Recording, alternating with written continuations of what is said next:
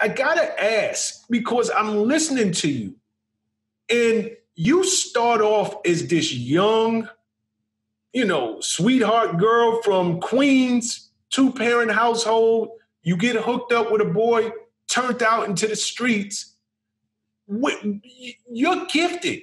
It's clear. You know, there, there are people who work their entire life and they don't touch a million dollars. By 25, you're a multimillionaire. You, you, you're a strategic thinker. You have the, the, the, the ability to recognize opportunity and do, and not just recognize the opportunity, but execute on it. When you got locked up, you can go in the, in, into the prison, and I'm you in the feds. I'm, I'm assuming with with the with your crime, you're in the feds. Where does the mind shift start for you? Because you can go in there and you're sitting around other people who worked in the financial industry. So you can literally go in there. Okay, this is where I started, and, and I made it to be a multimillionaire. But now I'm sitting in jail with people who they weren't just multimillionaires; they're billionaires. They they they are, are government officials you that you know jail can become a, a, a master's class, if you will, in business. Where did your mind shift start to say, okay? I didn't go there with the business part because I already had that. I just went with the spiritual part. So that's when I got to know God.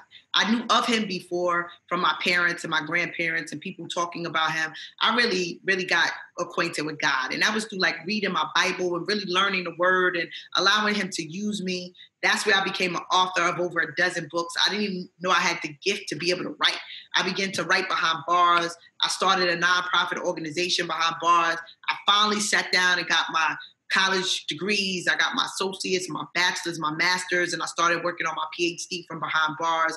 So it was just a mindset shift. And I realized that I used to do something called prostituting my anointing, taking the mm-hmm. gifts and talents that God gave me and using them for what I wanted to use them for. So I kind of found my purpose, tapped into doing the things that I love, helping other people, and doing something that would actually leave a legacy, longevity, right? That would make my kids and my kids' kids' kids proud. So again, that consisted of a mindset shift, you know, realizing that I needed my higher power to survive, that no matter how smart I thought I was, no matter how gifted I thought I was, I was nothing without God.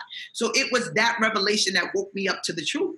And then it also gave me time. I read hundreds of books. So then I later learned about business and credit and this and that. So now I know how to do things legitly. And I just share that information with folks today so that they can know how to do what I'm able to do and more, right? And just know that nothing is impossible. And that regardless how far or how short we fall in life, we can dust ourselves off and get back up again.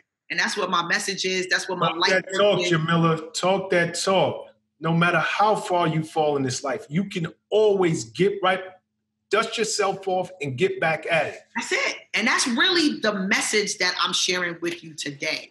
And Mr. Prez, my time today is crazy because I got like two or three other um, interview things that I got to get ready to do. Um, I, I, was just chosen by Charlamagne to do an audible thing that he's doing, and I'm very grateful for that opportunity. So I'm actually going out to get ready to do that with Tamika Mallory shortly.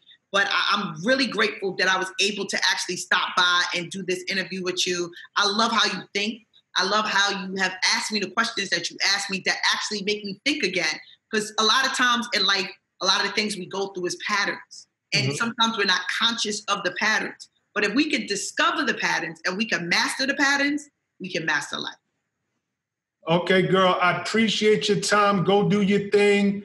Um, and, and just keep up the great work. I love your message, and you know th- this platform is always here for you. That's what's up. What's up, guys? Thanks for sticking with me to the end of the video. Truly appreciate you. If you like anything you heard here today, go ahead and hit that subscribe button. And if you know anybody that can benefit from this message, feel free to share. Peace and love.